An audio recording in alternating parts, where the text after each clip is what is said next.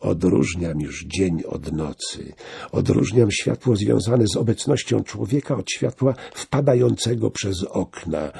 Wiem, że poza ścianami gniazda, poza murami domu, w którym się urodziłem, istnieje nieznany świat.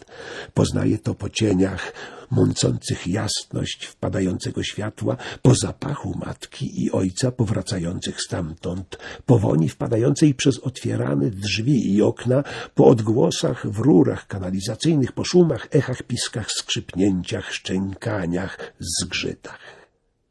Do piwnicy przychodzą nieznane szczury. Ich woń, chociaż podobna do naszej, jest odrębna. Matka wypędza je i gryzie. Obce szczury przynoszą zapach własnych gniazd, woń swoich własnych odrębnych dróg, swoich rodzin. Próbuje wymknąć się za nimi, iść ich śladem. Matka cofa mnie już od drzwi piwnicy i rozzłoszczonego zanosi do gniazda. Dzień przesuwa się za dniem, noc za nocą. Ciekawość staje się koniecznością. Potrzeba opuszczenia piwnicy i pójścia dalej pcha mnie w stronę podłużnej szpary pod drzwiami. Wszystkie małe szczury są podniecone i niespokojne. Coraz częściej też dochodzi do pozorowanych napaści, ucieczek, walk. Odpychamy się uderzeniami nóg, drapiemy, przewracamy, gryziemy w uszy, nosy, ogony, podbrzusza.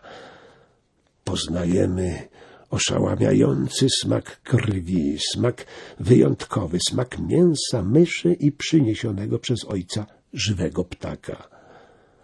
Najmniejszy i najsłabszy z małych szczurków wymyka się przez szparę pod piwnicznymi drzwiami. Wraca wysmarowany ostro pachnącym płynem, zagłuszającym jego naturalną szczurzą woń, po której każdy z nas się